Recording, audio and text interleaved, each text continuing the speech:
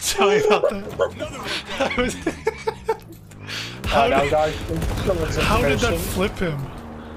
I don't know. Jeez, I really hit him that hard, huh? Like fucking cow tipper, you even got the whole sport.